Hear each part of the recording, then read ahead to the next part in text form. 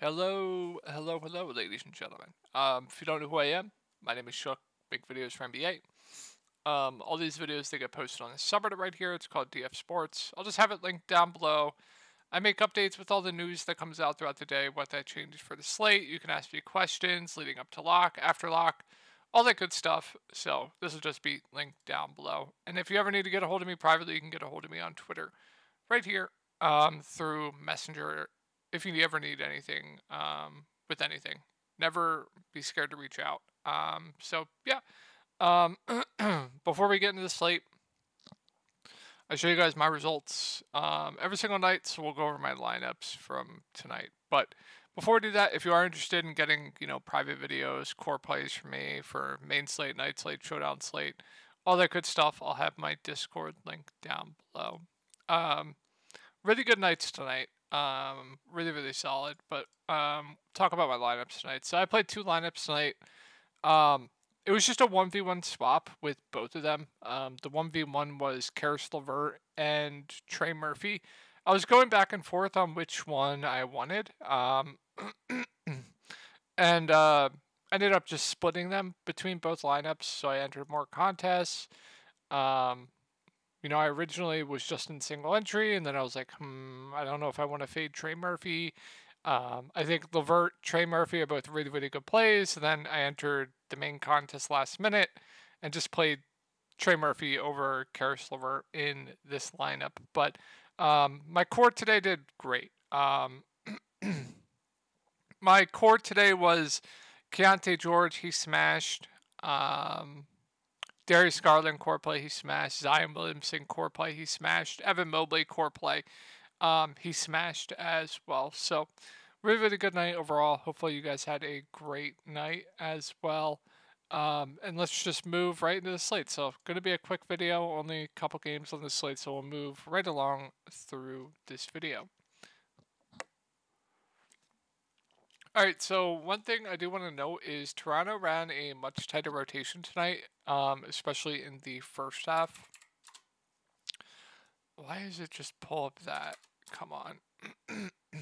Apologies for my voice, guys. Something in my throat.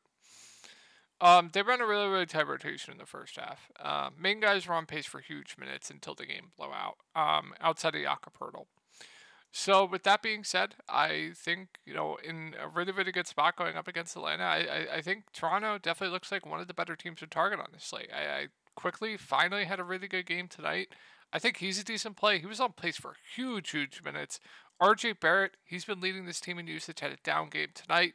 Um, Mike keeps ownership down. Maybe everyone everyone will hop over to Quickley because the big game tonight. Scottie Barnes had a massive game tonight. Now you just have such a good spot going up against Atlanta. So I think all three of the top three guys here in Toronto look pretty solid to me. Jakob Poeltl is firmly in play at 6.2K. He lost about five minutes due to the blowout. Now, before this game, he was losing minutes to Kelly Olynyk. Um, Kelly Olynyk got hurt this game, but prior to that, Kyle Olynyk was playing about 20 minutes a game. Now, I don't know if his back is 100% yet, and that's why he didn't play over 20 minutes tonight. That's something to keep in mind, though. But, you know, if we continue to get 30 plus minutes from Poeltl at 6.2K going up against Atlanta, he is going to be solid in tournaments. It's going to be an ownership thing for me. Depending on what his ownership comes in at, is probably what I'm going to do with Jakob Poeltl here. Because um, he, he could easily play, I don't know, 20, 26 minutes again tomorrow, and I would not be surprised if Kelly Olynyk gets a slight bump right. Um, but yeah, I think all four of the top guys here going up against Atlanta look like really, really solid plays to me. I think Kelly Olynyk's too pricey for my liking, and then Gary Trent, uh, I think is a decent value. Should play around 30 minutes, just up to whether he hits his shots or not. Four, super low with him, but he does have this type of ceiling. He had a big game tonight. Can he do that again? Yeah, sure. It's just up to if he hits his shots or not. But low four, high ceiling. I think he's a decent value at 4.3K. Um, Dick's minutes have been trending up. I if you need large field tournament dart, it's fine, but I'm not going to go there. All right, moving on to Atlanta. So Kongu is going to be out for this game. Capela is going to be on a minutes limit. Um, good spot here for the main guys. I think Trae at 9.4K is too cheap. You know, statute stuffer. Going to play close to 40 minutes at a close game. Um, gonna get you a double double. Gonna lead this team in usage. It's a good spot going up against Toronto. So I, th- I think Trae's pretty good spend up. I don't mind Dejounte Murray. I just always prefer Trey, but I think Dejounte Murray is fine at 7.5k. Jalen Johnson. So I'm intrigued by Jalen Johnson here. We know he's going to play big minutes anyway, but let me talk about this for a second. So whenever they have one of a Okongwu or Capela out, they're going to be closing with Jalen Johnson at the five. He should get um, minutes at the five anyway, but one thing I've noticed looking at rotations tonight is they're actually closing with DeAndre Hunter, and they're playing Jalen Johnson as the five in the closing lineup. So whenever a Kong, one of Okongwu or Capela are out, we have Capela on a minutes limit here. So um, Capela's not going to play big minutes anyway. I, I doubt he closes. I, I, would expect them to go back to like Hunter, Jalen Johnson in the closing lineup here. So with that being said, I think Jalen Johnson is intriguing. I do expect him to get some five minutes here. Capela five nine, as long as he's on a limit, just going to be strictly tournament play for me. But he could smash, but strictly tournament only. And then a guy I am intrigued by for tournaments is DeAndre Hunter. Um, you know, with games without Capela, one of Capela or Okongwu, his minutes have trended up of late. He was on a limit earlier in the year when he first came back.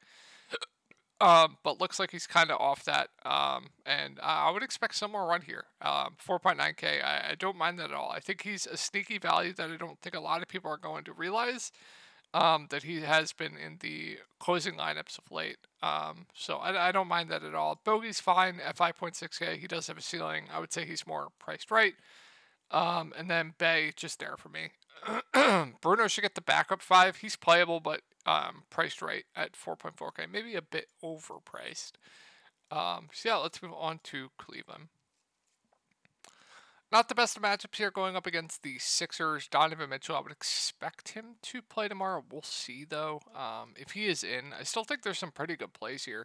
It's a back-to-back, so we'll see if they're going to, like, monitor the limits. But assuming everyone plays on this back-to-back and Garland Mobley are still off their limits, then I still think Garland's a pretty good play at 6.3K. Like, he should be, when he's off his limit, he should be like a 7K player. Um, so Garland is still too cheap. I still think he's a very solid play. Mobley at 7K, I think is decent as well. I like him quite a bit. Jarrett Allen's fine. I think I prefer Mobley, and then Donovan Mitchell's an okay spend up. Then I'd kind of be off guy, be off guys like LeVert, Okoro. Max Strus would still be playable, but wouldn't be my favorite value and I don't think I get too much else. Now, looking at the rotation tonight, if for some reason Donovan Mitchell does not play, why are there no games?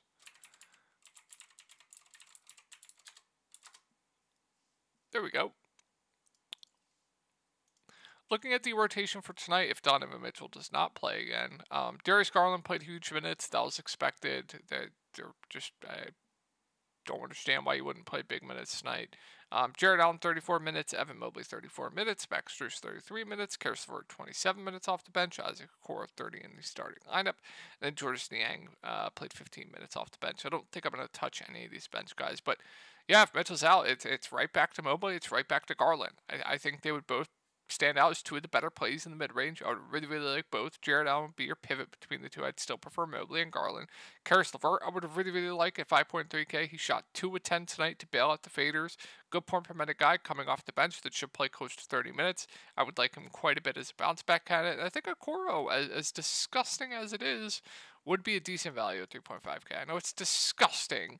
So if he's like really popular tomorrow, if Donovan Mitchell's out, you can make the argument to fade. Like I don't know if I want to play Chalk Okoro. Um, but yeah, if Mitchell's out, he is a decent value, and then Max Strus would be a solid value at 4.9k as well. So if Donovan Mitchell's out, this team definitely looks good. Like I said, I'm not going to play like Niang. I'm not going to play Sam Merrill. I'm just not going to do it. Um, so let's move on to the Sixers. Looks like we're going to have Melton back. I would expect him to be on some type of limit. Um, he's been out for forever. But what that's going to do, I'm not going to play Kelly Oubre. I'm not going to play Melton himself. Um, against a bigger team, sorry guys, my throat. You would think Paul Reed would have to play more. This guy's always in foul trouble, but going up against Cleveland, you would think he'd have to play decent minutes. I'm intrigued here in tournaments by Paul Reed. Uh, but strictly tournament only. Batum, he could sit. It's back to back, but he was on a limit tonight. Not going to go there. I'm not going to play Kyle Lowry. Tobias Harris is priced right. Buddy Hield's priced right. The guy I really like once again here is going to be Tyrese Maxey. Every time Embiid's out, I mean, he's just still too cheap, and I'm put 1K. I know the matchup is not great. Probably keep his ownership down, but yeah, I do like Tyrese Maxey quite a bit for tournaments here. And then, uh, like I said, everyone outside of Maxey, it's definitely a uh, pretty unappealing uh, team for me. Good matchup here for the Clippers going up against Memphis. The guy I absolutely really like here is Zubac. Um, told you guys last night if he was off his limit, I really liked him. Off his limit, um, it's a back to back. I don't think he'll be on this limit. So assuming he plays in this back to back, I don't think he sat back to backs. I would expect him to play here. Um, assuming he is not on the limit, I think he really stands out at 5.4K. You know, he's about a fantasy point per minute guy playing around 30 minutes, maybe a bit more. I think he lost some due to the blowout tonight. Um, good point per minute guy. You know, probably going to get you close to a double double. So yeah, I, th- I think Zubac really stands out at 5.4K. I like him quite a bit. He'll probably be popular. Westbrook's overpriced. The main guys in a good matchup, I think, are okay plays. Keep it's a back to back here. I think everyone's been playing back to backs though. Um, but it is the Clippers. I guess an off chance one of them pops up on the injury report, which is you know good possibility that happens. Then we'll talk about it more. But you know, at their price points, I think they're all fine plays. You know, no standouts here. Ton of blowout risk as well. Pal has the ceiling off the bench, but he's priced right. I don't think I go to much else. The main standout here is Zubac to me. Moving on to Memphis, Jaren Jackson Jr. is probable. I mean, I have no idea what this team is going to do. I'm not going to lie to you guys. I really don't. Um, you know, Pippen's out. Obviously, Brandon Clarke hasn't played in forever.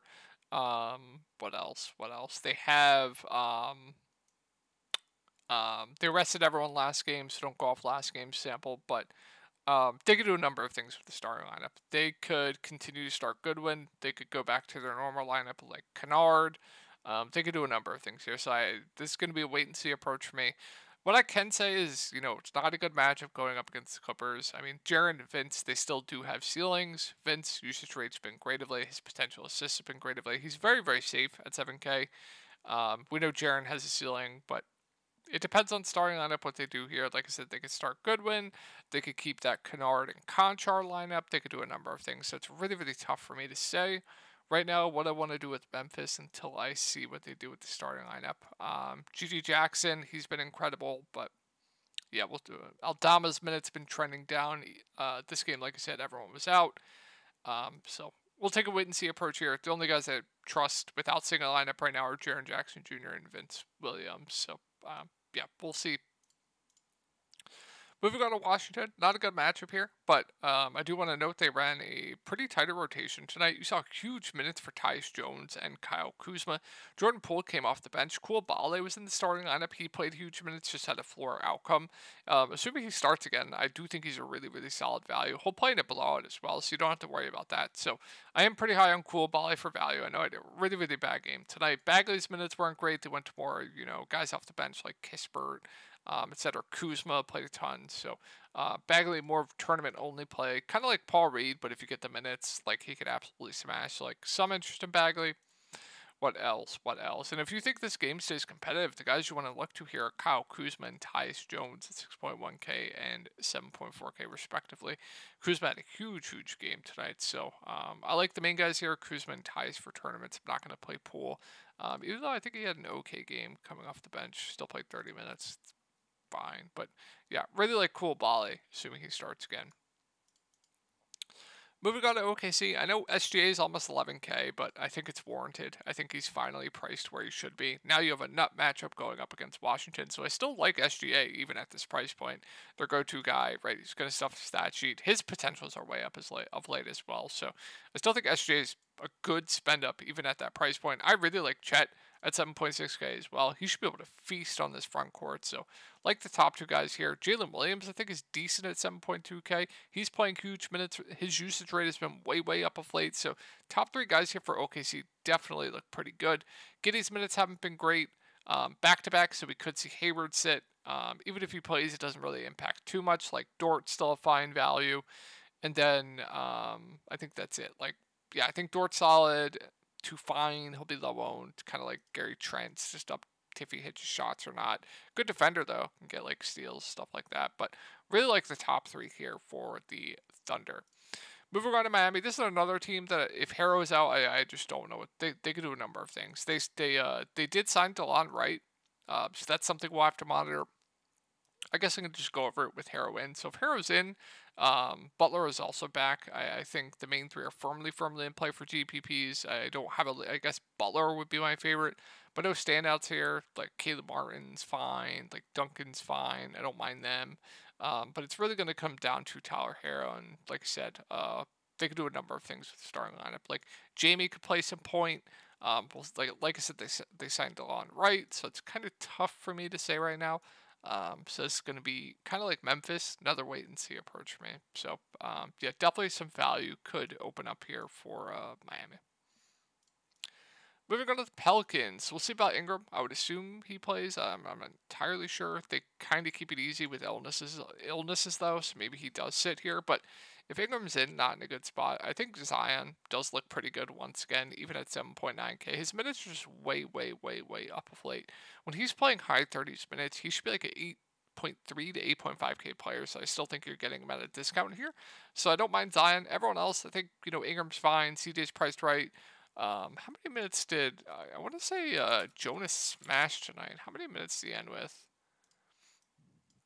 27 minutes. Um, Nance 12. I don't know if that was due to foul trouble or not. Um, but strictly tournament only. I think now Nance is an okay value. Herb Jones, safe play. Trey Murphy's priced right.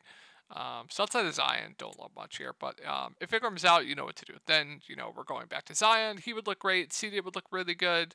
Um, maybe Jonas plays 27 minutes again. Trey Murphy would be a really good play at 5K. Herb Jones would be a solid value. Um, Alvarado crushed in garbage time. Um, but yeah, um, these guys would look good once again. I, believe Naji had a good game. Um, but yeah, definitely be some plays there. Moving on to Phoenix. So Beal is doubtful for tomorrow, so you're going to get Grayson Allen, Eric Gordon in the starting lineup. I think there's definitely some value. I think Aaron, Eric Gordon looks like a decent value. Royce O'Neale, I mean, he's been crushing of late. I don't mind him. I think he'll be popular tomorrow with Beal out. So I like Royce O'Neale. I like Eric Gordon. Grayson Allen's playable. Jusuf Nurkic at 6.5K his minutes been trending down of late, and I think Booker, KD are solid spend ups. Prefer Booker to KD. I don't think I get too much else here though. Moving on to Houston, so um, I want to take a look at their first half rotation tonight. It was different. Um, they played a lot in the first half. Um, so let's take a look at that. As you can see, they ran a really, really tight rotation until the blowout here in the first half. Um, so guys that play big minutes, I mean, Fred played a lot more than I thought he was going to. Um, Jabari played big minutes. Amen Thompson played decent minutes. Jalen Green played big minutes. Um, Dillon Brooks played a decent amount. So not a good, er, I mean, decent spot going up against Phoenix. Um, still too pricey. Jabari Smith, we know he has a ceiling at 6K. I don't mind him. You know, usage been a little bit weird of late. Jalen Green at 7-1 still priced right. I do like Fred VanVleet, though, at 6.7K. Now, also back to back, we'll see, I guess. But uh, yeah, I do like Fred at 6.7K, assuming his minutes are, you know, similar. And then Sengun is fine at 8.5K. I don't know if I get too much else here, but I think that's going to wrap it up for the video. I hope you guys had a great night, and I will talk to you guys in the next one.